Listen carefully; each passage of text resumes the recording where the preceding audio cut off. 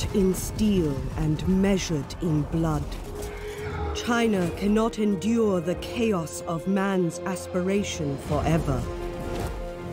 Through refusal to capitulate, Yuan Shao has warded off China's demons.